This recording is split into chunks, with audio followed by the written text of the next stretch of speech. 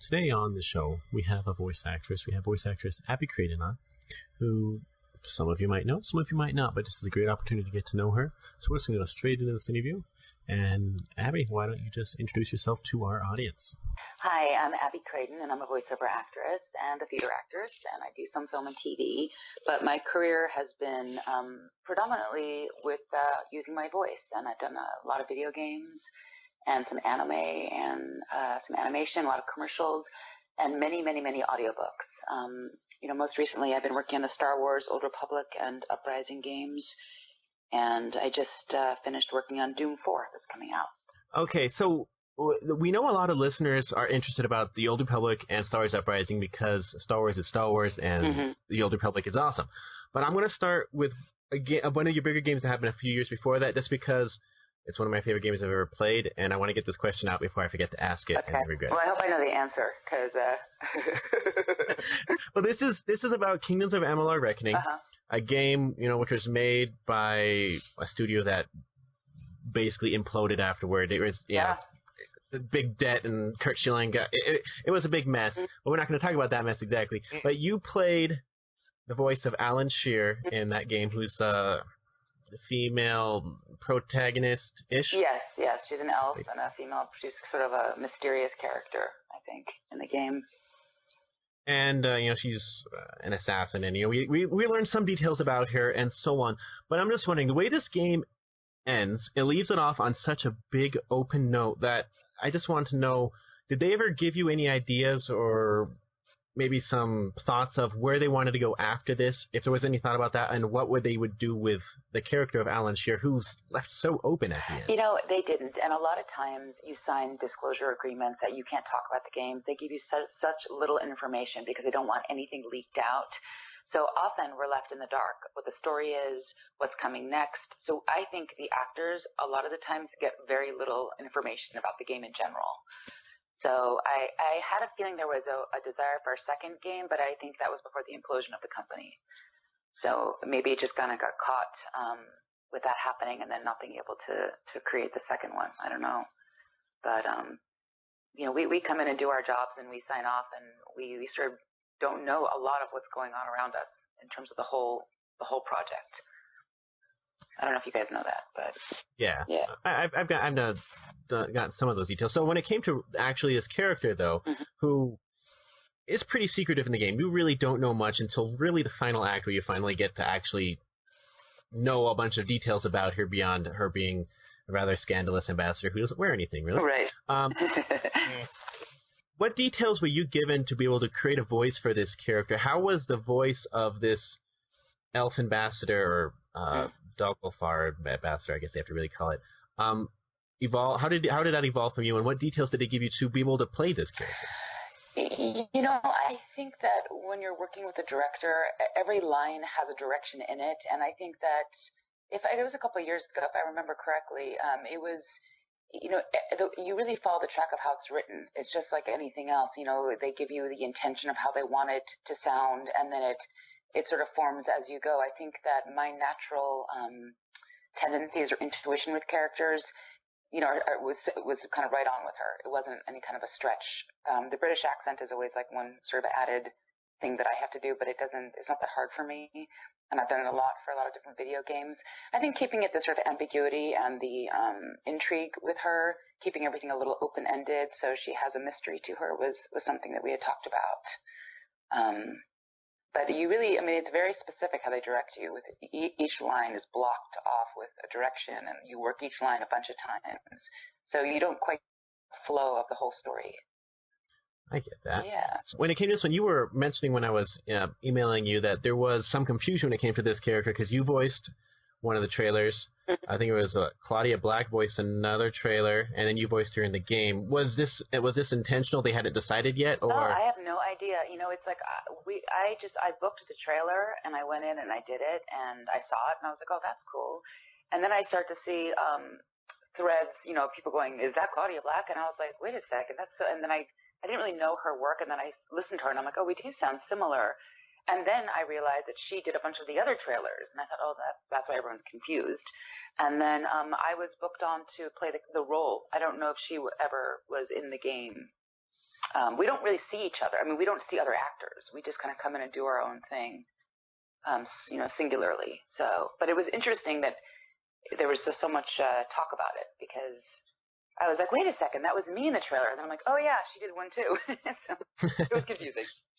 I think some of the confusion is she plays a fairly similar character in at least personality in Dragon Age, which Kings of Amalur is a similar type of game and a rival type game for. Uh, and so they probably didn't want to cross those streams that much. yeah, maybe, maybe.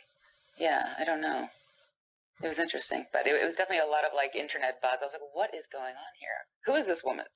But and I was like, oh, she has a cool voice. Okay. The game is big as Kings of Amalur, which um, for me, I, I don't know, well over 100 hours playing. I know your character is not in it the whole time. She pops in whenever there's a certain type of story. Mhm. But how long of a recording session or recording sessions does that did that game take for just your character? I feel like we did two or three, and I think I was in New York, which was where I'm from originally at one point, and they actually recorded me there because they were needed to get some stuff done. There was a bit of a rush, or or just wanting to get it done. Um, but I remember two or three sessions of it, and you work, you know, a chunk of time, maybe maybe two sessions, and you just sit and kind of go through the whole game, go all your segments in the game, and then sometimes you do pickups, you know, if there's anything that they want to do after. Um, but yeah, Okay. yeah. So James here is a big fan of uh, Guild Yeah, Wars, so I'm going to let him ask uh, his questions about Guild Wars Okay. before I start launching into Star Wars. Uh, Mhm. yeah, because at that point we're just that's it. We're done. That's the whole conversation. But I do have to say though, to a fellow New Yorker, good to meet you. yes, you too. Yeah, I swear we're all just transplanted into subtropical climates these days. Yeah, it's the warmth. It's the sun. We all want the sun. It has to be. But anyway, going on Guild Wars though, you know, now for those that don't know, you voiced uh, the narrator for Guild Wars, and I was actually curious: is it a lot different to voice, like, say, a narrator type of voice, that style, as opposed to actually creating a character like you did in Kingdoms of Amalur? Um, I, you know, I think it's voiceover is interesting. For me, it's very intuitive. You know, I, I don't find it harder. I mean, I think the characters are harder because you have to go through more of an emotional, you know, journey or story. A narrator, a narration is, it has sort of a a different kind of feel to it. Um, yeah, I, I, you know, I don't even know if they use my narration for Guild Wars. It's not, sometimes they book you on things and you do the job, and then they do, you know, a big game like Guild Wars, they might use somebody else. So, and I know I did some other smaller roles in that game. So I don't, I don't even remember how it all worked out, but it was one of those Mm. things where I went in and did it, and then I think I heard someone else on the the thing I did, and I was like, oh, okay. But um, I like doing the narration. I think it's fun. I think it's interesting to that kind of storytelling. It's similar to the audiobooks and things that I do. Oh well, there you go. I mean, that works out well. Yeah. But you know, another thing though is like have with a game like that though, like you know they always have you know sporadic updates and whatnot. Mhm. Do they ever like call you back in and be like, "Hey, we're doing an update. We want you to come in to read for a few more lines or anything of that nature"? Um, you know, with Star Wars, I've actually been, gone back in a bunch, and that's the first. Well, Doom Four, I went back in to do some pickups and some additional things. Um, but Star Wars, I've gone in a lot, almost like a regular, which is interesting. That the storyline kind of keeps continuing, and they find more. Senya is continuing on, but it hasn't been written yet. So I've gone in for the last, you know, maybe you know five months, once a month, going in and working on that game, The Old Republic, and that's more rare to me. Um, my experience has been usually just kind of going one shot deal, but sometimes it's a recurring thing, you know. I guess it just depends on the kind of game it is. Well, Jerry, I do believe that was a segue into what you were going to ask, my friend. Okay, so now we're going to go into Star Wars stuff for a bit because, well, this is it's November next month. A new Star Wars movie comes out in two weeks. Uh, Star Wars Battlefront comes out. Star Wars is kind of everywhere. The Old Republic just did its massive uh, release of Knights of the Fallen Empire. Um, its second expansion of the year, I believe. And so there's a lot of Star Wars going on. And you voice uh, Senya Mhm. In uh, the Old Republic. You also do some voices in the the app uh, Star Wars Uprising. Yeah. Well, we'll start with uh, the Old Republic because that's the bigger. It's, it's a bigger game. hmm hmm just looking at the voice cast, basically every voice actor who they could possibly find is in the game. It's That's huge- the meat and potatoes. yeah, yeah, yeah. It's a huge game, and I think also once you get to know them, they're really nice people, and the director is amazing. They and you know you kind of become. It's just like everything else. They want to use a certain actors again, or a certain group of actors that they use more um, for for you know games, and you come back in and do more stuff. So I worked on Old Republic first, and then they brought me in for um, Uprising too. So that was sort of how it worked.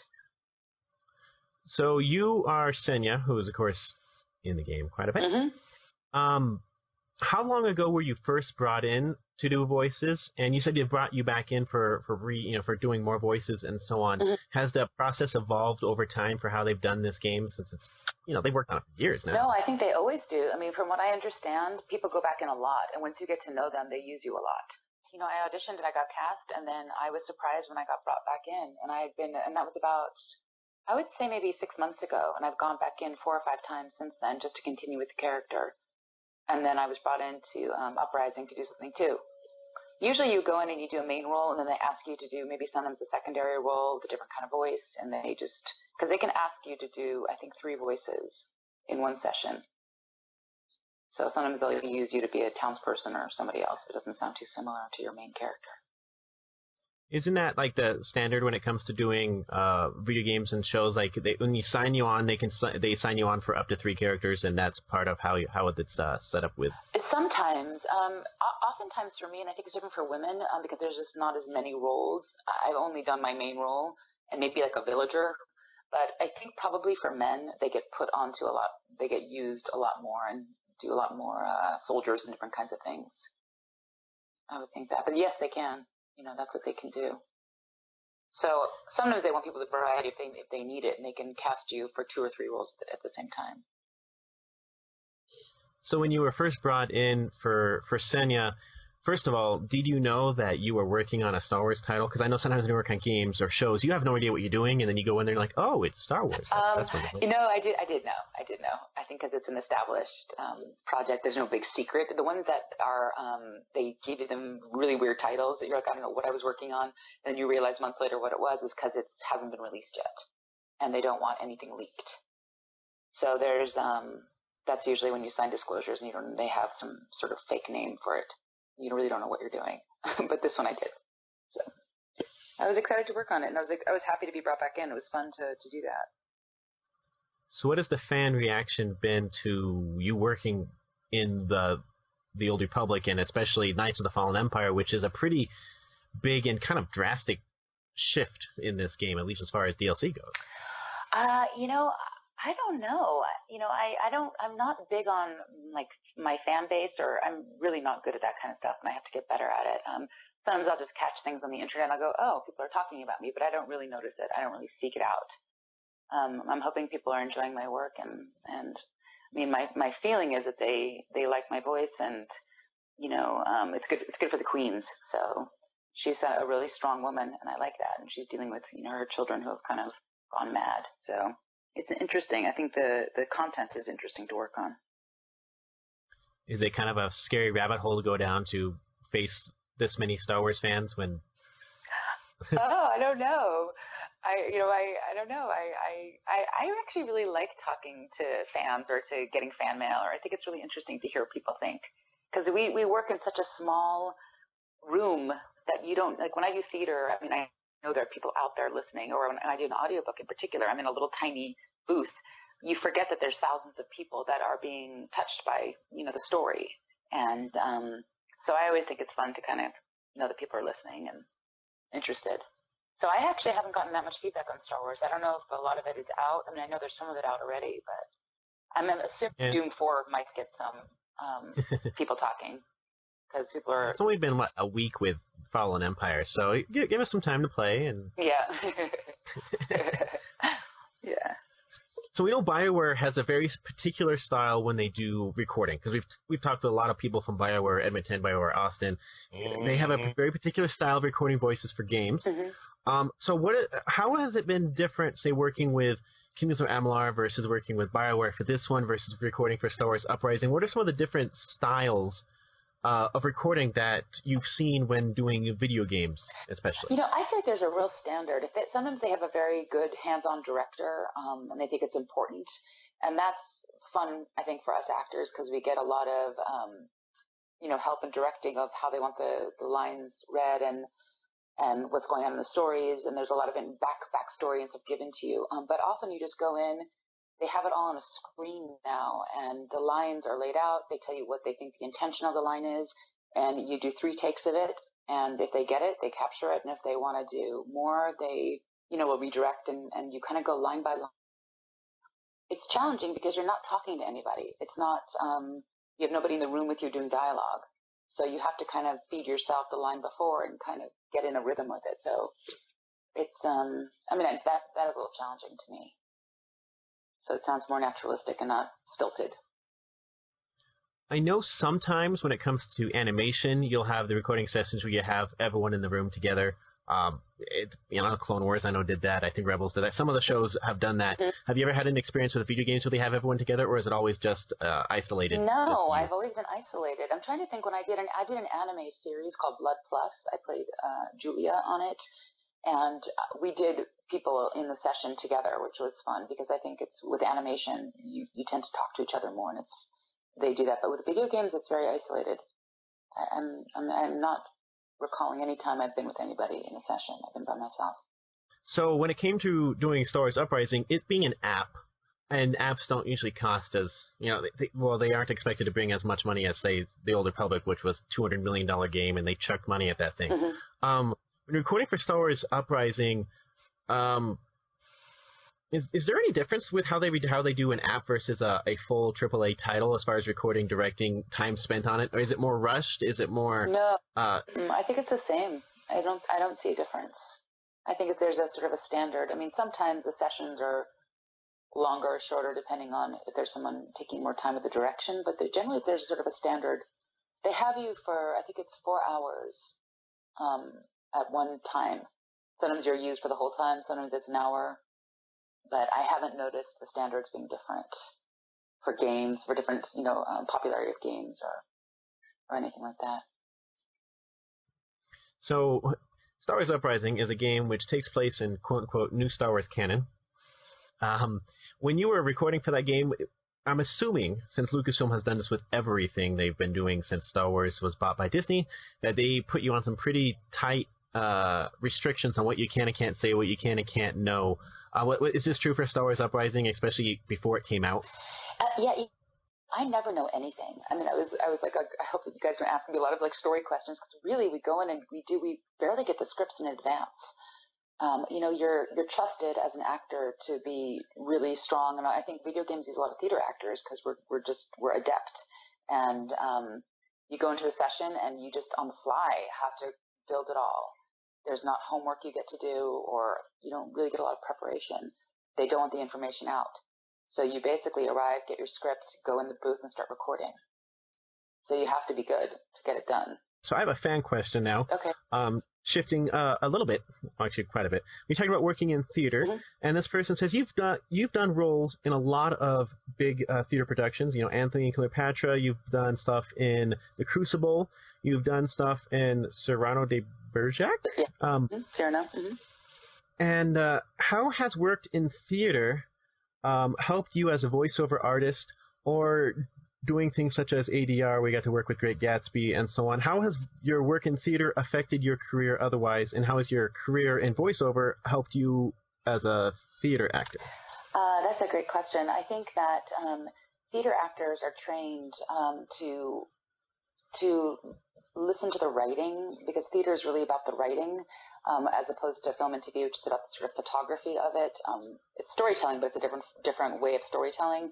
So when your ear is attuned to language, um, I think you just become more skilled at the musicality of language, how how how much energy you need, and I think in terms of doing a lot of Shakespeare or classical theater, it's a very heightened reality. Um, when you do video games, fantasy games, it's a very heightened reality. So that reality of the energy you need, or being a king or a queen, if you've done a lot of theater, that's already sort of in your muscle system it's not like someone who's done TV or sitcoms and they have to know how to use their their, their voice. Actors are trained to use their voices, stage actors. So I think um, a lot of video games um, and audiobooks um, love to use theater actors because they're skilled with language, they know how to use it, and also um, they're trained. Their voices are trained. So your voice doesn't tire out. You know how to warm your voice up, and you also know the sort of height of the material. It comes easily to you. Okay, so here's another listener one. Uh, you mentioned how you were classically, you know, you're trained to do theater acting, and that helps you with your voice. But a lot of video games are also very taxing on voices, as we've heard from other voice actors. You know, especially like Call of Duty games where they're screaming and shouting and Mm. dying left and right. They want to know, as far as animation or video games go, what has been the most taxing on your voice and why? Um, I did a game. I, I, I can't I don't remember the name of it right now, but it was the Brigmore Witch, and I created a voice for it that was very cool. But having to create that voice for two hours, I killed my voice. It was like a like a creaky, whispery, scratchy thing, and it was fine to do for the audition. But after uh, working for a whole session, it, like I lost my voice, and it's something I realized that you have to create a voice that you can sustain for that four hours and not hurt your voice. So that was hard. I think for men it's harder than women because we don't do the battle stuff and the screaming. I mean, we do screaming. Sometimes we have to do you know, the physical stuff, but it's not half as much as the men. Um, sometimes the ADR work is taxing. You know, if you get a session where you're doing a lot of like screaming. I worked on Mad Max, um, and we did a lot of that, the, all the people in the pit you know, kind of moaning and screaming, and you know, it, can get hard. You know, you just have to learn how to use your voice and rest it. And uh, I think if um, you do theater, you, you you know how to save your voice because when you do theater, you have to sustain on stage usually for a couple hours too. So here's a, another listener one. They say, on Mama Radio, we've heard interviews with Belinda Cornish and Jennifer Hale and other voice actors who have mentioned how one challenge of doing female voices is doing your death scenes or battle noises because it often sounds like porn. Do you agree? And if so, how do you, this is from a female, how do you do voiceover work where you have to do those noises without it sounding like porn? I have never experienced it sounding like porn. That's it. Funny. Um, you know, I, I don't know. I've never even heard that. I I've never heard felt like my battle cries sounded like porn. So I don't know. um, that's a good question. I don't know. That was never. No, that's right. You've heard it here first, ladies and gentlemen. A voice actress who has never heard this theory before. That's right. You should play Radio. the new Tomb Raider game and watch every time she dies. Oh God, yeah.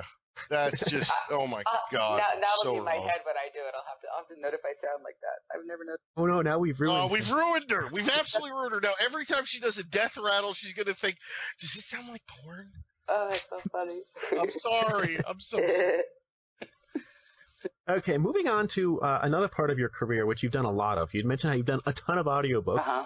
A lot of them uh, are on Audible, Yeah. which is our sponsor. If you want to support us, go to audibletrial.com slash bombard radio and get a free audiobook today. Yes. Um, In fact, and- get one. Read by Miss Abby Craden. That's right.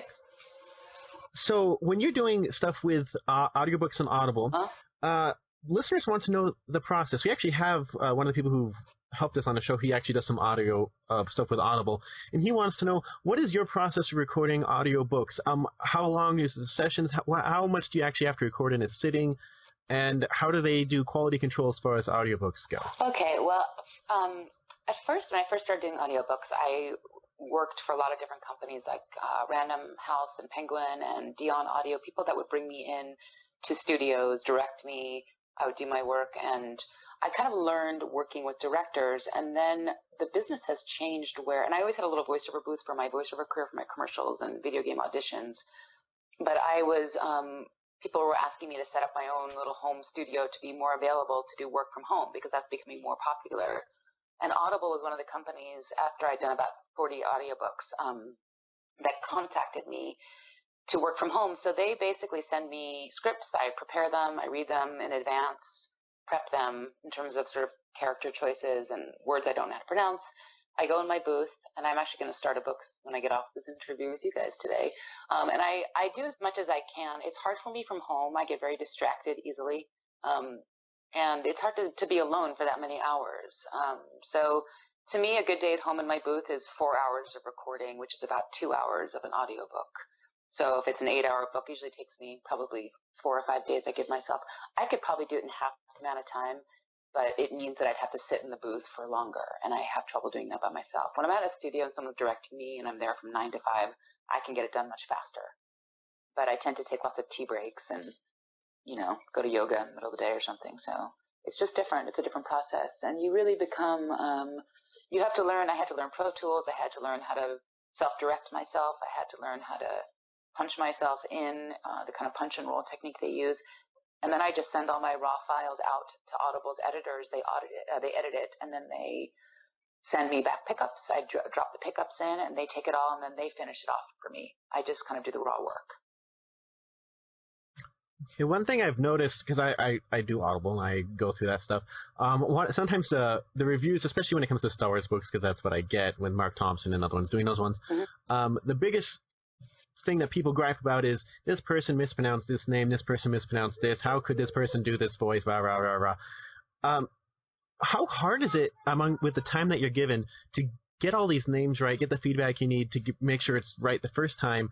And have you ever had a time where you've goofed up on a name and people uh, don't don't understand how hard it is? Um, it's really hard. It's really hard when you're working with it. Like sometimes there are producers like Deyan Audio will do a word list, and they'll check. They have they hire people to check stuff, especially if it's something that people know. Um, but still, mistakes are made. You know, it's just it's very tricky. I did a book um, called We Are Anonymous about the, the group Anonymous, and there was some very technical computer term that a, a computer person um, hacker type person would know, but no one else really would know. And I had read some feedback that they were like irritated it was pronounced wrong, but like we do the best we can. We don't really. I think you're in a limited time frame sometimes. Sometimes you're by yourself and you're trying to do it all, but you do the best you can. And often I'll call the authors and I'll have a conversations with authors and ask pronunciations. That to me is the best. If I have questions, I try to get the publisher to contact the author and have a conversation with them. Um, but mistakes are made. You know, I think it's just it's a fat. It's become faster uh, to get the books out, and maybe less time is taken with that kind of stuff. Um, but I think people do the best they can. You know, everyone wants it to be good. We did a whole book, and I pronounced it wasn't really my responsibility, but because it was with someone who's directing me at a company, they pronounced the whole last name of the, the character wrong, and the character's last name was on every page of the book, and we had to fix the entire book. Ooh. It was crazy, you know. So and it was a fantasy book. It was it was crazy, you know. So the fantasy ones are hard because the names are strange. But if it's um, you know, it's a world like you know, you know that's very very popular to people and very important that things are pronounced correctly. But to some of us out there, we don't know it. So you know, I think you, you do the best you can. So I I know you do a lot of um, fantasy uh, novels, like which I believe does a lot of like witch hunt ones. Uh-huh. Uh, do they seek you out because of your voice because it fits that the, the fantasy premise, or in some ways do you seek it out, or does it just happen that way that you just happen to do a lot of vampire and witch and those type of and werewolf, I guess technically speaking. Well, um, um, they which, they seek you out. You're cast. It's like you're being cast in a role, and I think your voice quality. Um, although I've done lots of different things, I've done young adult books, and I my voice has a lot of variety to it. I think, but I you're cast as sort of your general sound. So I do a lot of paranormal books. I do a lot of romance. Um, but I've also done some kids books. I did a L. Frank Baum book, which was really fun, um, Sky Island, and I got to do lots of different character voices. And my 11 year old son, who was like eight at the time, got to listen to an audiobook, which was, he's into them. So usually he can't listen to mine because they're, they're not really age appropriate. So, but, um, yeah, you're cast for your voice type and you kind of get in a, a niche, I think, with that. You know, Audible really cast me in a lot of romances. That's been sort of the, the things I've done for them. So when it when it comes to reading these books, you know, I've I've read you know short stories and so on, and it takes a while to make sure I get everything right. How much practice do you give yourself to be able to just read through this and get it right, you know, the first or second time, and uh, or is it just something you've trained yourself to be able to read, you know, just read things and go through it really quickly that way? You know, it, it's a it's a kind of an interesting skill set. I think there really is no practice. You have to read the book, kind of know the story, get the, the feeling for it, make some character choices, mark when the characters like are speaking so you don't trip up with that, but you basically just go. Um, eh, sometimes you can stop and listen back and say, oh, that didn't sound right. Or someone, if you have a director, they, they want you to do it differently. But it's a really um, kind of a skill set of just in, intuitively and having experience and just doing it. You don't really get a lot of practice. They're they're dense and they take a long time, so you don't really have time to fix and rehearse. Here's one that would work really well. I'm an aspiring voice actor, and I want to know where you'd recommend I focus. I've got I've done a job with Audible and I've done a job with commercials, um, but sometimes I don't have time to do everything that I'd like to do. Is there a particular area of voice acting that you think is good for one to start with, or at least focus on when it comes to voice acting? You know, I think audiobooks are a really great way to learn lots of different skills, and they're so it's booming. It's a booming business right now, and they're recording everything, and it's gotten much cheaper the digital downloads um, have become much cheaper to do. So there's just everything's being recorded. But what I always recommend to people who are starting out is to not work alone doing it because you don't have anyone teaching you. It's a skill set and it's it's not that hard, but you do need to know how to do certain things. And if you start to work by yourself, um, you know, going onto ACX and booking titles, you can get in the habit of of not helping yourself to kind of have a better longevity in the career and getting better books to do. So I think uh, making a demo or sending out your samples to all the companies that have directors where you can go into a studio, have people work with you is always great. I mean, that's just how it started for me. And I worked with a lot of people and a lot of amazing uh, directors uh, as I was going along, and I learned how to then self-direct. But I think doing that at first is hard. Um, in terms of commercials uh, and video games, it's it's really getting a good agent. That's always the key because the agents have all the access to producers and the material, and it's very hard to do on your own. So getting a good voiceover agent, uh, sending your demo out, or having someone drop it off, getting a personal um, touch, you know, with it is is really important. My career didn't really open up until I got a good voiceover agent, and then I booked a lot of commercials. Um, I did, you know, Diet Coke, McDonald's, and Toyota, mean, just a ton, and then that shifted into video games, that shifted then into some anime, and then into audiobooks. Um, and all of it just sort of kind of fed each other. And then you, you, I mean, you, I think all of, all the people working in this business want to do everything. Um, cause it's, that's, that's the business. You know, you want to be a voiceover actor. You want to do video games, animation, anime, commercials. It's all part of the same thing. Okay. There's one more fan question about uh, audiobooks. They said you've done a lot of romance novels, some of them supernatural romance novels. Mm-hmm. Have you ever read a book that halfway through or partway through you get the feeling that this is rather awkward? Yes, I have. I have. Um, I've done a lot of very, um, I wouldn't say pornographic, but I would say uh, sensual books. And, you know, it, at first it's kind of it's hard and a little bit embarrassing. Um, and then after a while, it's like anything else. It's like you feel like it's it's like you're doing your laundry. It's not a big deal. I think you kind of it's just the job and you get past it. Sometimes things are goofy and I'll sort of stop and I'll giggle and I'll press you know start over again. But generally, it's just you just get used to it. It's just it's not a big deal. But at first, it can be awkward. Yeah. So last fan question. They want to know a lot of voice actors can't listen to themselves. Are you able to actually listen to your own voices and do so without feeling terrible? Uh, yeah, I like listening to myself, not from like an ego place, but because I can correct things. Sometimes I'll listen and I'll go, especially with an audiobook, I'll think, oh, I was going too fast. You know, I wish I, I have to slow down. I have a fast tempo and I have to really force myself to slow down sometimes. Um, or I think, oh God, that character was not, that was just too much. You know, I think it's helpful. Um, it's harder for me to watch myself than to listen to myself. For me, um, my voice is its own kind of entity, I guess. It doesn't feel like it's, I don't know, my person. So even if I don't get a job or I'm criticized, it doesn't affect me as much as if I'm criticized live or in a film or TV or in theater it feels more personal. So I, I like listening to myself to kind of get better at what I do. Okay, so uh, before I start wrapping things up with my last few questions, uh, Ket, do you have any more, or James, I should say, do you have any more questions? You love using that name. Uh, no, actually, I'm pretty good, dude. I wanted to ask about Guild Wars, and I knew you were going to cover the rest. That's how you do. You're the host of this here shindig. Okay, so I have three questions to wrap it up. The first one, this is uh, of you know great interest to me because I have uh, a little one and I have another one on the way.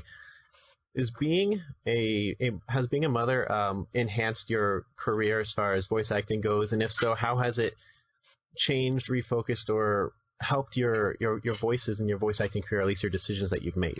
I think my son was the biggest blessing for my voiceover career. I was pregnant and I couldn't travel to do theater anymore, and I had to really figure out how to earn money and my voiceover career kind of exploded when I was pregnant. Um, I booked some national commercials and I was able to be home with him and money would just kind of come in.